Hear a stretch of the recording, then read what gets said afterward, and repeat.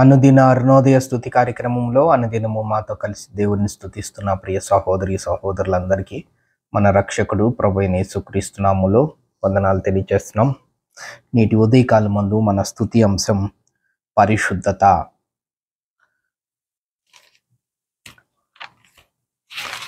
తెస్లోనికి రాసిన రెండవ పత్రిక రెండవ అధ్యాయం.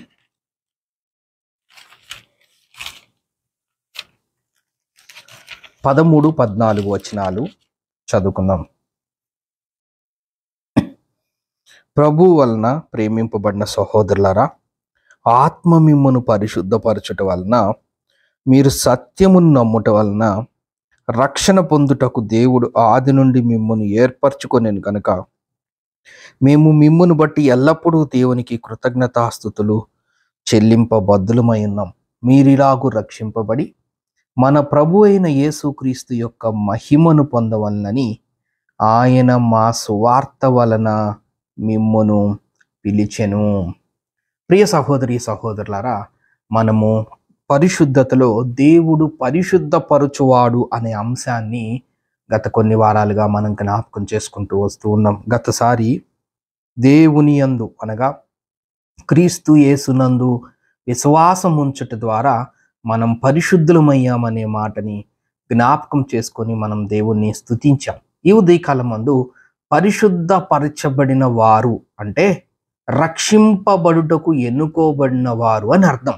పరిశుద్ధపరచబడిన వారు అంటే రక్షింపబడిన వారు లేదంటే రక్షింపబడుటకు ఎన్నుకోబడిన వారు రక్షింపబడిన వారుగా భావాన్ని ఉదయకాలం మందు మనం జ్ఞాపకం చేసుకుందాం పరిశుద్ధపరచబడిన వారే రక్షింపబడుటకు ఎన్నుకోబడిన వారు లేదంటే రక్షింపబడిన వారు అదే మాటని తెసలోనికి రాసిన రెండవ పత్రిక రెండవ అధ్యాయం పదమూడు పద్నాలుగు వచనాల్లో ఆ భావాన్ని మనం గ్రహించవచ్చు. చూద్దాం చూడండి. ప్రభు వలన ప్రేమింపబడిన సహోదరులారా ఆత్మ మిమ్మును పరిశుద్ధపరచుట వలన ఆత్మ మిమ్మల్ని పరిశుద్ధపరచుట వలన మీరు సత్యమును నమ్ముట వలన రక్షణ పొందుటకు రక్షణ పొందుటకు. మన అంశం కూడా పరిశుద్ధపరచబడిన వారు అనగా రక్షింపబడిన వారు. పరిశుద్ధులు ఎవరు? రక్షింపబడిన వారు. పరిశుద్ధపరచబడటం అంటే ఏంటి? పరిశు రక్షకులుగా మార్చబడటం. పరిశుద్ధపరచబడటం అంటే ఏంటి? దేవుని కొరకు ఎన్నుకోబడటం. పరిశుద్ధపరచడం అంటే ఏంటి? దేవుని జనాంగంగా ఏర్పాటు చేయబడటం. అదే పరిశుద్ధత. అదే మాటని అపోస్తుడైన పౌలు తెసలోనికి రాసిన రెండవ పత్రికలో ఆ భావాన్ని మనం గ్రహించవచ్చు.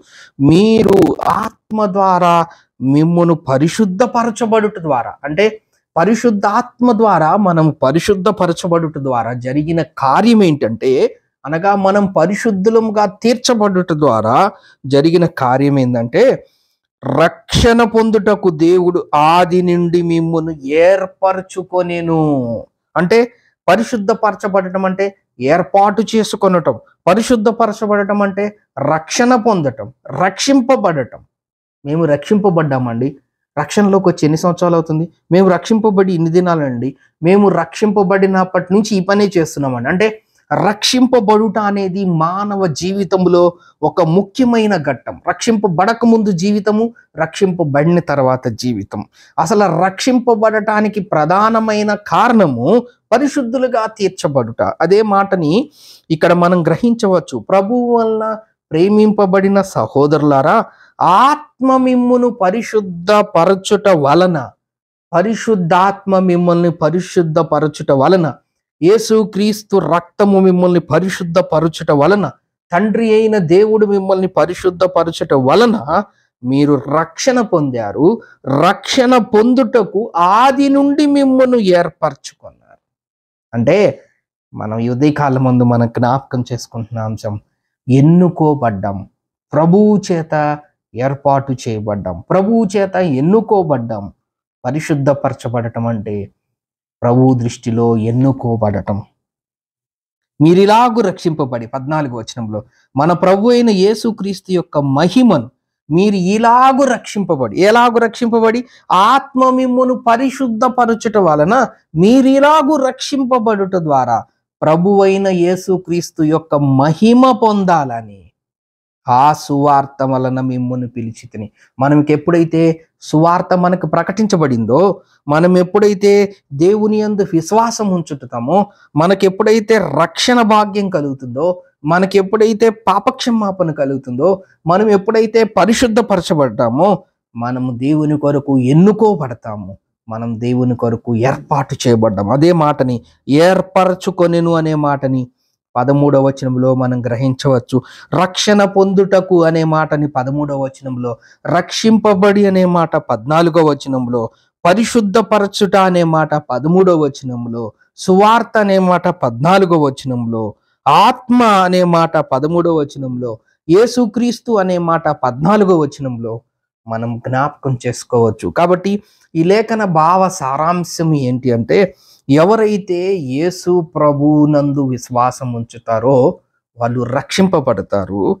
ఎవరైతే రక్షింపబడతారో వాళ్ళు పరిశుద్ధపరచబడతారు. ఎవరైతే పరిశుద్ధపరచబడతారో వాళ్ళు దేవుని కొరకు ఏర్పాటు చేసుకున్నవారు ఎన్నుకోబడినవారు ఏర్పరచుకున్నవారు. వీటన్నిటికీ మూలాధారం పరిశుద్ధత పరిశుద్ధత పరిశుద్ధత. కాబట్టి ప్రియ సహోదరి సహోదరులారా ఈ లేఖన భావంను మనం జ్ఞాపకం చేసుకుంటే మనం రక్షింపబడటానికి పరిశుద్ధపరచబడిన వారే రక్షింపబడుటకు ఎన్నుకోబడ్డారు. పరిశుద్ధపరచబడిన వారే సింపుల్గా చెప్పాలంటే పరిశుద్ధపరచబడిన వారే రక్షింపబడిన వారు పరిశుద్ధపరచబడిన వారే ప్రభు కొరకు ఎన్నుకోబడిన వారు పేతురు రాసిన మొదటి పత్రిక మొదటి అధ్యాయం. మొదటి రెండు వచనాలు కూడా చదువుకుందాం. యేసుక్రీస్తు అపోసులైన పేతురు తండ్రి అయిన దేవుని భవిష్యత్ జ్ఞానమును బట్టి ఆత్మ వలన పరిశుద్ధత పొందిన వారై ఆత్మ వలన పరిశుద్ధత పొందిన వారై విధేయులగుటకును యేసుక్రీస్తు రక్తం వలన ప్రోక్షింపబడుటకును ఏర్పరచబడిన వారికి ఏర్పరచబడిన వారికి ఎవరు? ఆత్మ వలన పరిశుద్ధత పొందిన వారిని ఏర్పరచారు. మన అంశం కూడా అదే.